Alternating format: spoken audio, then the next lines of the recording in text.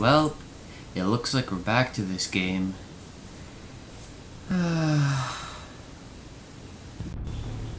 hey, what's going on guys? It's the Gamer Pro, or as known as TGP, and in today's video, I want to talk about a specific topic that most people underestimate and don't really put much effort into, and that's school. And I'm not sitting here talking, oh, you should go try your best, you know, college is worth it. And trust me, guys, it is.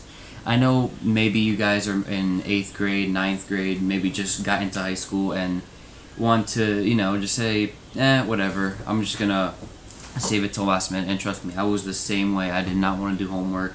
I did not want to do tests. It was just to me, it was just like, ah, it's bullshit. I'll leave it till the end of the of pretty much the year. I don't care. Like I just left things and just decided not to do my work.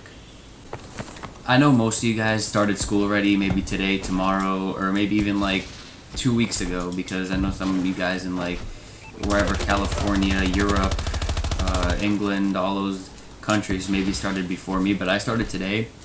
And now that I'm a junior in high school, I feel like I have a lot of responsibilities, like try to find colleges, try to do good in school, and try to like at least get a B or an A so I can get into a good college and like pretty much survive.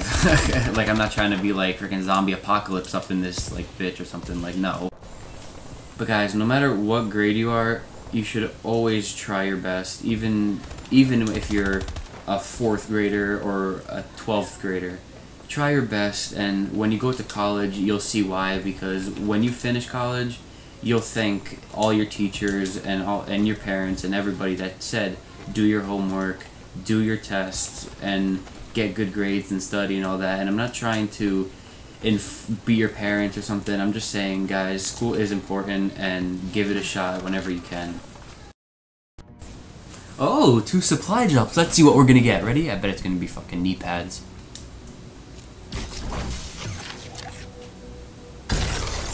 Elite. Oh, great, some Nigerian stuff. Great, and an MK14 I have like a thousand of. Next.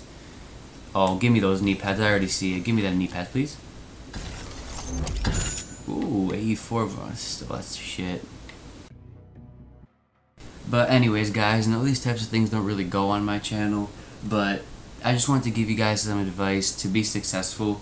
And I'm not saying that I'm not successful. I'm just saying that if I were to continue being lazy and not doing my homework and not doing tests, then I pretty much would be non-successful. And thank God I changed that around. But anyways, guys, I hope you guys enjoyed this commentary. If you did, be, be sure to hit that subscribe button down below. And I will see you guys in the next one. Peace out. I love you guys.